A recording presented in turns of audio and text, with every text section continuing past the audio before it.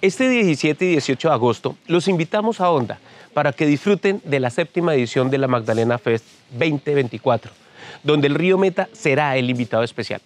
Celebraremos el centenario de la vorágine con música, danza, teatro y contenido cultural de primera, con artistas como Cimarrón, La Morena del Chicamocha, Lady Arias, además de los artistas ondanos.